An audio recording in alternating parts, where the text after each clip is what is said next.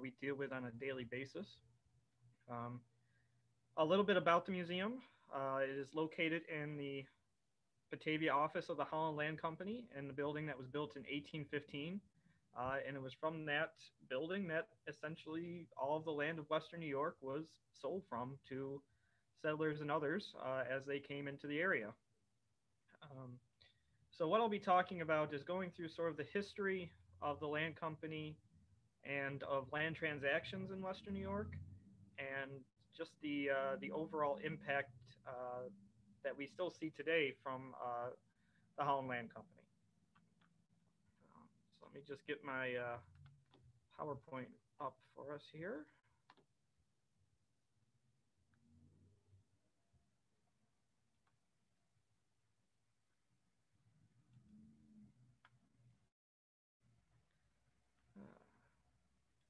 So to start off, though, uh, we're not even really going to uh, start off with the Holland Land Company, as there was uh, several bits of information that uh, it that I feel are important to talk about as they sort of set the stage.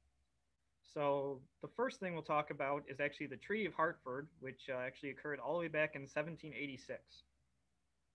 Now, the Treaty of Hartford, Hartford was actually signed between New York and Massachusetts uh, in order to settle who had dominion over the western half of what we know as New York State today. Because uh, up until that point, uh, both states' colonial charters actually gave them the rights to the land, so something had to be settled in order to allow this to go forward.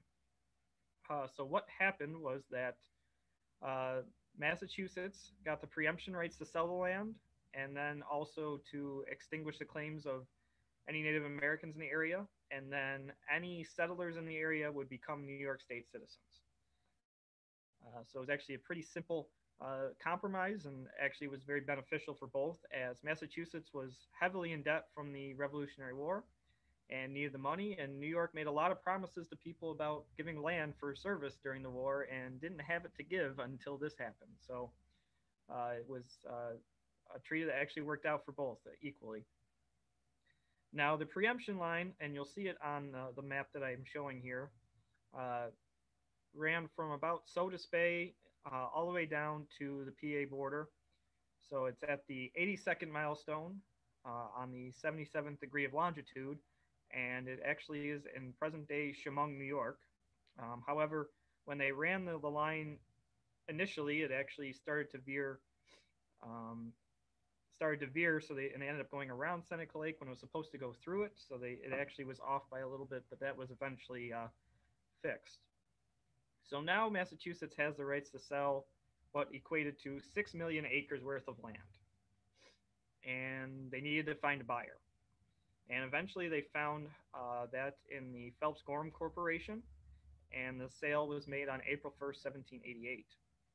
Uh, so the Phelps Gorham Corporation was run by Oliver Phelps and Nathaniel Gorham, and they paid $1 million, paid in three equal annual installments to the rights to sell that land. Now, they paid $5,000 to the Seneca Nations to extinguish their rights to the eastern portion of which was two million, two and a quarter million acres, uh, which basically ran from around Rochester, uh, slightly farther west of Rochester, all the way to the preemption line in Sodus. Uh, however, their uh, their sale of land was kind of was very rocky. Uh, they set up uh, land offices in Connecticut and Canandaigua, uh, making Canandaigua one of the very first real settlements in the area, and that's where their land office was. however, they only made one of their three annual payments and actually defaulted on the second. So on March 10th, 1791, the three and three quarter million acres west of the Genesee River actually reverted back to the state of Massachusetts. So we've already gone through one buyer in the area. Now we're going to have to see if we can find another. Now, Massachusetts was able to find another buyer relatively quickly. And sorry, I missed uh, showing you what the Phelps Gorham purchase actually looked like there. Uh, those are uh, two uh, maps, one colorized, one not, and give you the idea of what the uh, eastern portion of the purchase actually looked like. And there's Mr. Phelps and Mr. Gorham for you. But now we'll move on to our second buyer, who was Robert Morris. Uh, now, Robert Morris was at the time the, pretty much the wealthiest man in the country, and it was his funds that actually basically paid for the American Revolution and paid for the Revolutionary Army.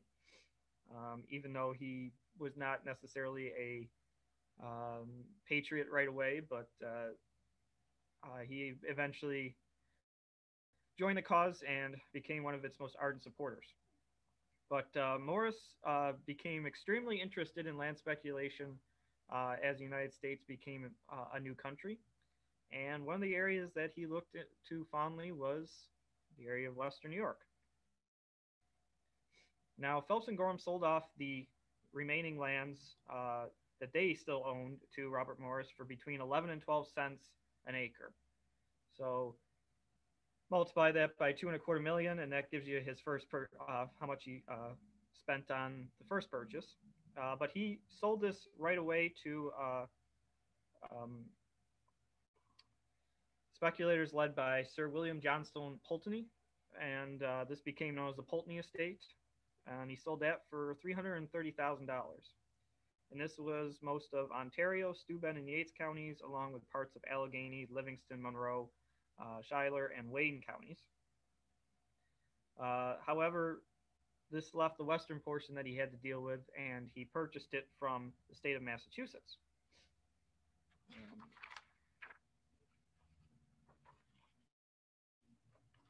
And this occurred in 1791. Uh, however, it, he only owned it for about a year as he looked to flip it as quickly as possible. And what he who we would find would actually be a, a consortium of bankers from Holland, later known as the Holland Land Company. So he would sell three and a quarter million acres uh, worth of land, which is the far left part, to the Holland Land Company, and would keep the middle 500,000 acres to himself, which was the Morris Reserve and this stretch was 12, 12 miles wide from the PA border to Lake Ontario. Um, and this was basically he held on to uh, as sort of an insurance policy and to maybe gain some later funds uh, from the land speculation as the area started to grow. Um, however, um, by the turn of the 19th century, Morris actually became heavily in debt and was actually imprisoned uh, for his outstanding debts, which forced Congress to pass its first bank- bankruptcy legislation in order to save. Um, and it actually got Morris out of prison.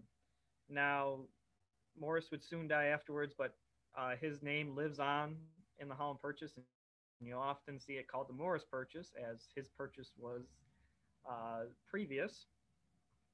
And uh, to this day, Robert Morris's name still actually shows up here in Batavia.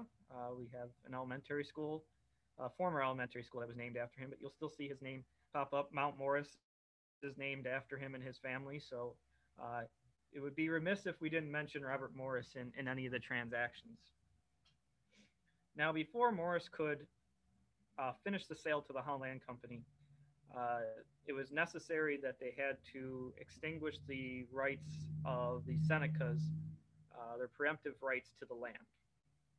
And this would happen in the Treaty of Big Tree. Now, the Treaty of Big Tree was hosted uh, just outside of Geneseo uh, in uh, beginning in August 1797. And it's called the Treaty of Big Tree because uh, on the land there was a giant oak tree that was renowned and I actually have a picture of it for you there. Um, it was about 70 feet tall and about 24 feet at its base, so it was a massive tree. Um, and uh, it began there because uh, it was very near the home of William Wadsworth, who was one of the early pioneers in the area and was the captain of the local militia. And if you know Geneseo at all, you know the, term, the name Wadsworth. Um, it goes all the way back to this.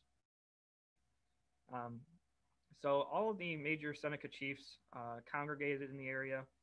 I have Red Jacket pictured there, but you also had Corn Planter, Mary Jemison, White Woman of the Genesee was there. Um, Colonel Jeremiah Wadsworth, uh, William's son, was the treaty commissioner. Uh, he was assigned it by uh, President George Washington. You had Thomas Morris, who was representing his father Robert's interest. And then representing the Holland Land Company, you had Theophilus Cazenove, Paolo Busti, and Joseph Ellicott, who had just been hired as the chief surveyor of the area. Now, negotiations did not go smoothly and took quite a while. Uh, Red Jacket was in opposition to the treaty from the start and did his best to try to convince the other chiefs that this was not a good idea in order to sign the treaty. Uh, however, uh, pressure soon uh, overwhelmed him and he saw the writing on the wall and eventually was signed. Now, the latter part of the negotiations, you could say, uh, were under some different pretenses, as Morris's camp bought uh, several cases of whiskey in and used it to bribe and uh, coalesce the uh, uh, native population, uh, native chiefs there in order to sign it and get the deal done a lot quicker.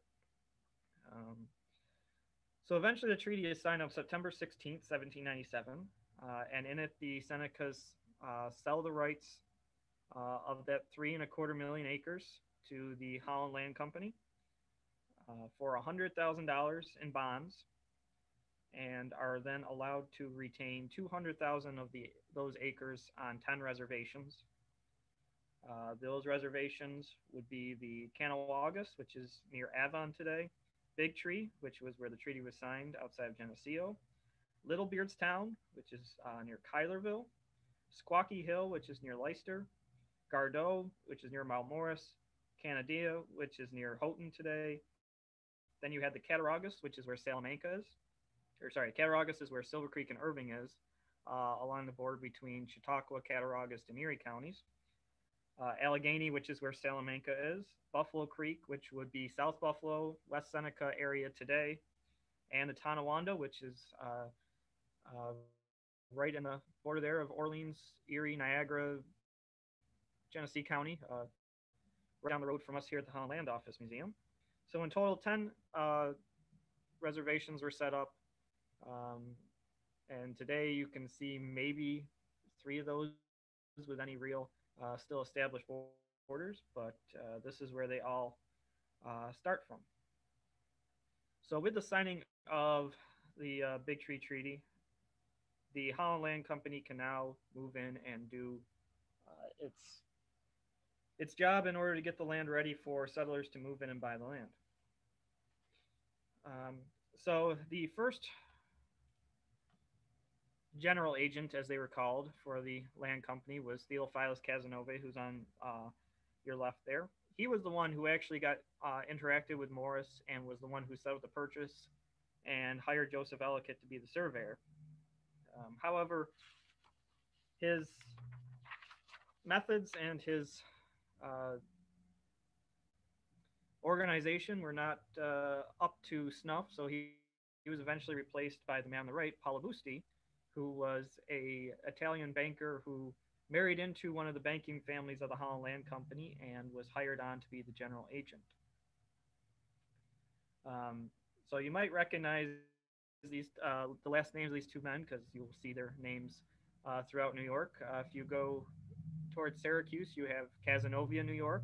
It comes from Mr. Cazenove there. Uh, in Buffalo, you have Cazenovia Creek, also from his name. Uh, in Paolo Busti, you'll actually see his name uh, down in Chautauqua County in Busti, New York. Uh, but he was Italian, so it was Busti, but uh, it's been anglicized, and there's also Busti Ave in Buffalo. So the, the uh, importance of these men is still actually carried on. Now, the job of the general agent was to basically see oversee the entire operation from the offices in Philadelphia, and it would then be Joseph Ellicott as the resident land agent to operate out of uh, Western New York. So essentially, these two men were Joseph Ellicott's bosses. Now, their bosses were uh, some of the richest men in the Netherlands, involved in some of the largest banking uh, industry in the world at the time uh, and several of them uh, played important roles actually in Western New York as their names were carried on. Uh, the first I'll mention is Willem Willink. Uh, he was one of the major merchants, and he actually was probably the largest involved in the land speculation himself, as he purchased uh, his own portion of the Holland Purchase. Uh, he purchased over 100,000 acres which was in a narrow strip in the center, and then a large portion of what's in Allegany County today. Uh, and a town was actually named after him, uh, the town of Willink, uh, which, which was created in the very early portion of the Holland Purchase, and it included uh, the towns today of Concord, Eden, and Aurora or East Aurora, and uh, North Main Street uh, in early Buffalo was actually named after him. was called Willink Ave. Uh, so here is the Holland Purchase itself, uh, broken down in how the modern counties uh, shape it out. But at the beginning, it was all Genesee County, and eventually, between 1800 and 1841, it went from one county to eight that we see today. So now that this is all set up, it comes down to one man to make it all happen, and that is Joseph Ellicott. Uh, Joseph Ellicott was born on November 1st, 1760, in Bucks County, PA, uh, but his family moved to Maryland uh, a short time after uh, and to an area now called Ellicott Mills. And his father, uh, I'll mention him briefly, as uh, he's kind of an interesting individual, was actually a clockmaker and watchmaker, very well known. And if you go to the Smithsonian, uh, you'll actually see one of his clocks on display. And his father's name was also Joseph, uh, so it's the Joseph Ellicott the Elder. Uh, you can see his work still on display. Um, however, uh, our Joseph Ellicott uh, made his name in surveying. So after the Treaty of Big Tree, uh, Ellicott set to work to survey that three and a quarter million acres worth of land. And he did this over the course of three years, which uh, was actually not as fast as he wanted to. Uh, he was hoping to have it done in two, but uh, it was a monumental job, so it's I'm surprised he even was able to finish it within uh, the three-year time period. Uh, but this was not the first time that he had worked for the Holland Land Company. They had made a purchase earlier of Western Pennsylvania, uh, basically from Erie, modern day Erie down uh, quite a ways, and he was the one who surveyed that area. And he was the one who mapped out the western boundaries of New York and Pennsylvania, and actually was the one who set up uh, what become the city of Erie, but it was named Presque, Isle at the time. Um, now, uh, Joseph Ellicott's brothers uh, also assisted him in this project. You had Andrew, his older brother, who actually taught him the art of surveying and was probably the most accomplished surveyor in American history, at least early on, uh, as he was the surveyor general even of the United States and uh, was the one who actually finished up the layout of Washington, D.C. Now, uh, so the Ellicott brothers were actually uh, did more than just survey what we know as uh, the Holland land purchase. They also measured uh, the Niagara River, the length of the Niagara River, the height of Niagara Falls, uh, the Ellicotts laid out the early village of Buffalo. Joseph ended up founding and laying out early Batavia, and he became the first person to make a 12 inch ruler. So not only is Joseph Ellicott the surveyor of the Holland Purchase, he's also the father of the 12 inch ruler. Uh, up until that time, the measurement of a foot was not a standardized unit of measurement. It was literally whatever foot you had available. Uh, so what he did is he took uh, as many foot long rulers as he could find and lined them up and took the average and it came out to 12 inches. Uh, so that, that's where we get the 12 inch foot from. And he would make uh, many uh, brass rulers in that length and give it to his workers uh, on the uh, survey to use it as a standard unit of measurement. So uh, this work uh, went on for several years, um, and uh, eventually, what we see that map of is Ellicott's work. Um, with the uh, end of the survey in 1800, now was the time to start selling land, and this also fell to Joseph Ellicott. Even though he had no experience selling land previously, they felt that he was the best man for the job because he was the one who knew the land the best because he had traveled just about every acre of that three and a quarter million acres in his time and seemed pretty adept at uh, working with it. So eventually, uh, his first headquarters, you could say, is actually in Buffalo. Uh, that's where he ends up after laying out the village. So his first sales actually occur there uh, in 18 uh, in 1800, 1801, uh, and then eventually moves on and winters in Clarence today at the Asa Ransom House, uh, as that was the one of the few establishments already in the area, and that was his office for a few months as uh, the winter months went by, and eventually, about 1802, uh, he comes to Batavia and actually founds Batavia and lays it out, at least the early part, early portion of it. Now, it is called Batavia because that is the portion of the Netherlands that his employers were from. And actually, at the time, the Netherlands was called the Republic of Batavia, uh, as it was still under French rule. And uh, so that's where the name comes from. And as we go forward in history, there's actually a total of eight Batavias in the United States, and they can all be traced back to us here in New York. Um, but a funny little side story that Batavia was not the original choice uh, for uh, Batavia. Uh, Ellicott wanted to name after his boss, Paolo Busti, so he thought of Boostyville or Bustyville, uh, depending on how you would say it. Uh, and they agreed that that probably wasn't the best choice for names, and I'm very thankful that we didn't go with that one. Uh, so Boost, uh, Boosty said, Ellicott, why don't you name it after yourself? And they almost went with Ellicott's Town, and again, that didn't stick, so they went with Batavia. But uh, never fear, Ellicott uh, got many things named after him, including his own town, Ellicottville, down in Cattaraugus County. So it all worked out for him in the end. Uh, so it eventually, uh, Ellicott, with his settling in Batavia, starts selling the land right away. And the first office that he occupies is actually out of his home which would have been across the street and a little farther east from where the land office sits today. And until 1815, that is where the land was sold. Uh, the building that we're in today was not built until then, and it was built to be the first permanent office as they were becoming too busy to operate out of Ellicott's home. Uh, so Ellicott stays with the company until 1821 uh, when he is basically asked to resign his position. Um, he essentially had worn out his usefulness uh, for the land company as they sought him to be the liaison with the political powers that be in New York State, and he did his best in the 1820 gubernatorial election to anger those who would be empowered by not backing Governor DeWitt Clinton. Um, so eventually, Boosty asked, uh, forced Ellicott out, and this took a heavy toll on Ellicott, as within five years he would actually be dead uh, from committing suicide while being housed in an insane asylum in New York City.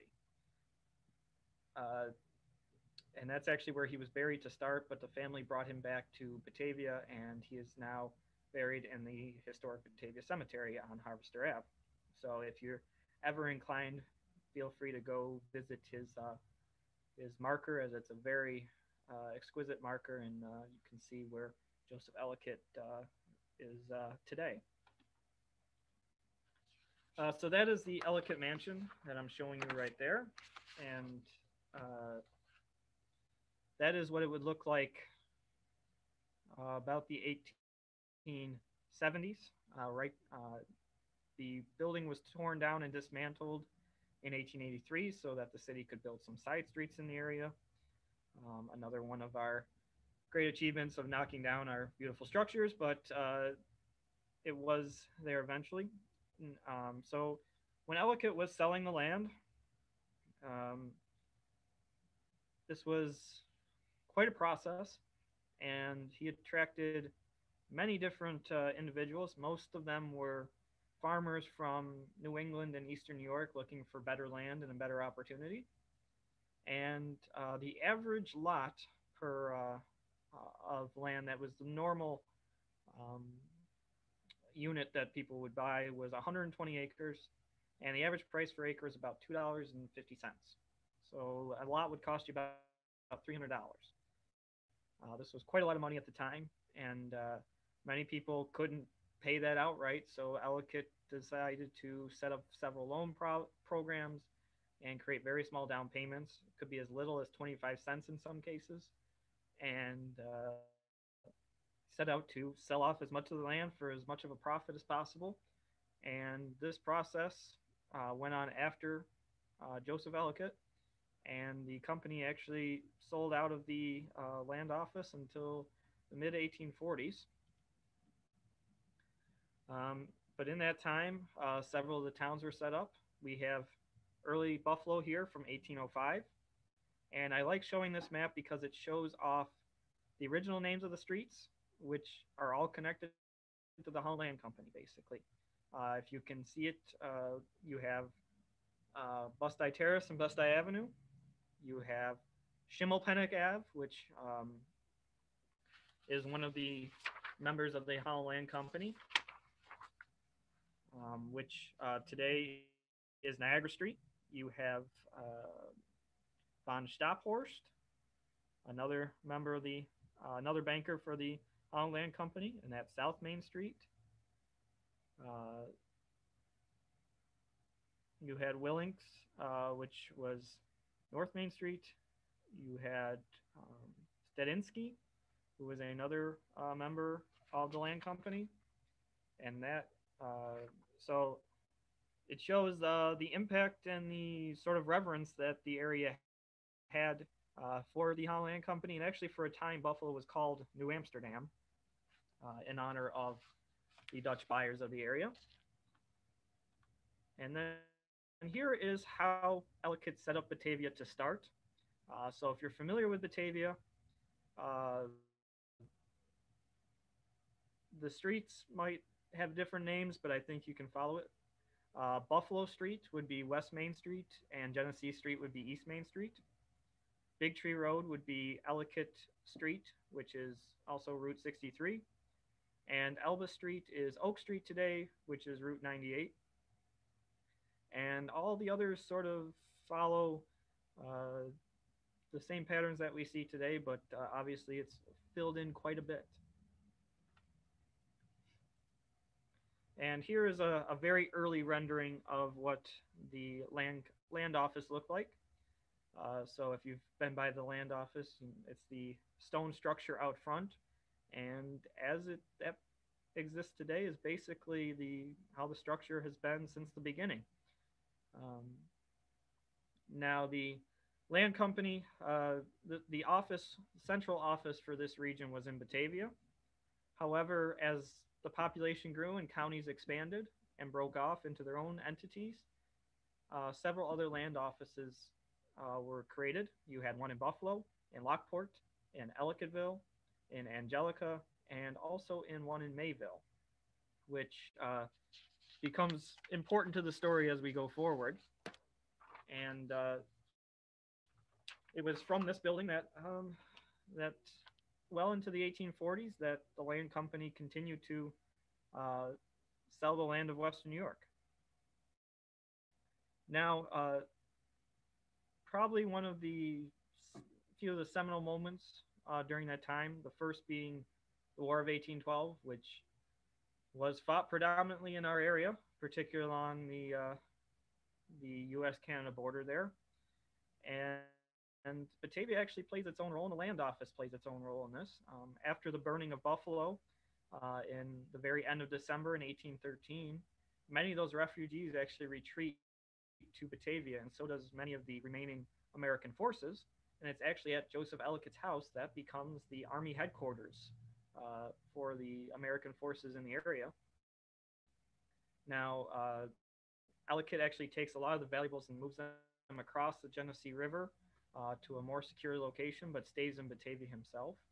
Uh, and actually, Brigadier General um, Winfield Scott actually uh, uh, recuperates in Batavia after the Battle of Lundy's Lane when he's uh, injured.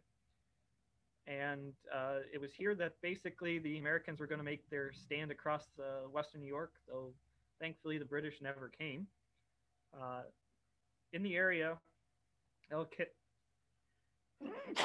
excuse me, um, Ellicott had actually built an arsenal at the be, uh, behest of uh, New York State, so there was actually a stash of arms in the area.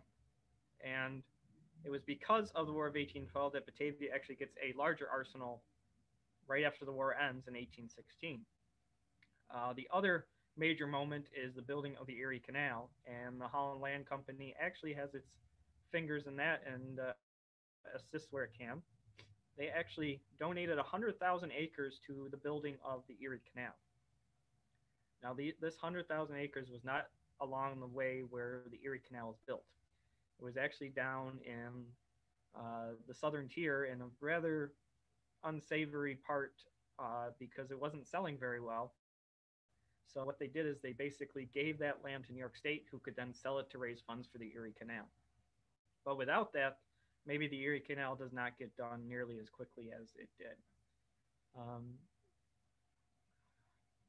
now, the land office's uh, importance to the area, and here is a blueprint of just what the um, first floor of the land office looked like. Uh, it was split into four offices, essentially identical, uh, with a staircase in the middle. So if you come into the museum today, you'll notice that one side has actually been changed. Uh, a middle wall has been taken out. Uh, that happened in the 1880s uh, when it was, was actually a church for a little while.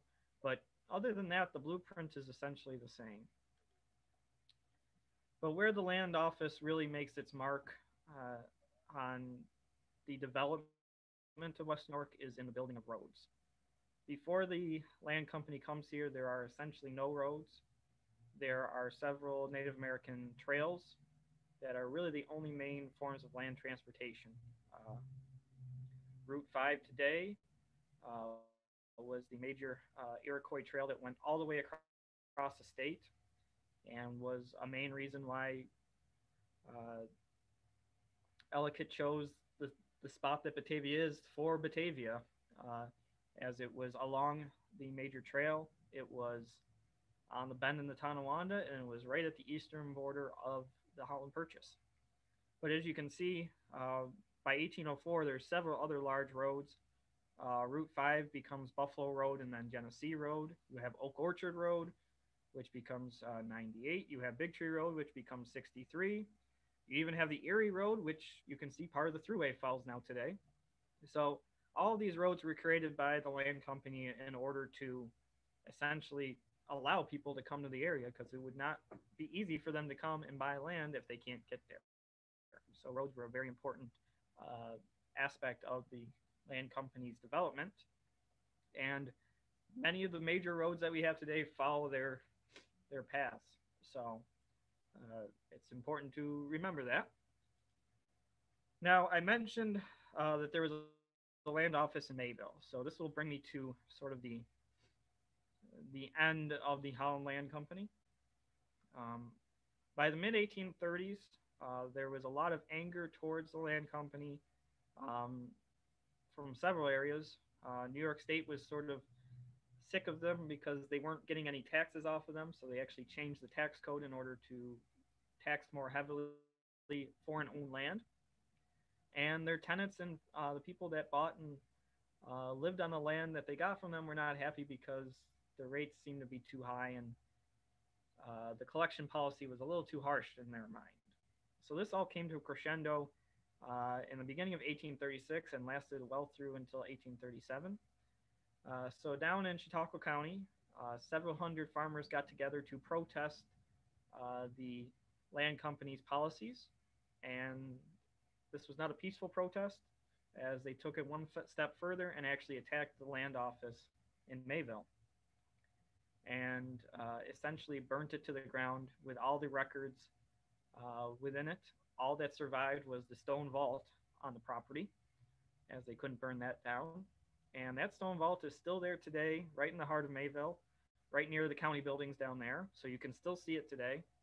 Um, but uh, this um, unrest spread throughout the entire purchase and actually came right to our doorstep here in Batavia. As in 1837, uh, a few hundred men actually got together and marched on the land office here in order to take it and destroy their debt, essentially. Um, this was uh, the word of this was received by David Ellicott Evans, Joseph's nephew, who was the resident agent here at the time. And he actually got together about 50 men with muskets to defend the land office. So this almost turned into a battle. Uh, however, when the, by the time the mob arrived, um, local militia had come and the local sheriff was here and eventually convinced them to disperse, though uh, the whole incident lasted uh, through the night and into the next day. Though there was shots fired, no damage was committed, but tensions were at an all-time high. And this sort of signaled the beginning of the end for the land company as their popularity in the area was almost gone and they had basically worn out their welcome. So by uh, 1845, they had sold off all their assets uh, to other companies and everything was sent back to Amsterdam in the Netherlands. Um, all the original records. And that led to changes in the land office. The building uh, operated as a, uh, a land office still until 1860.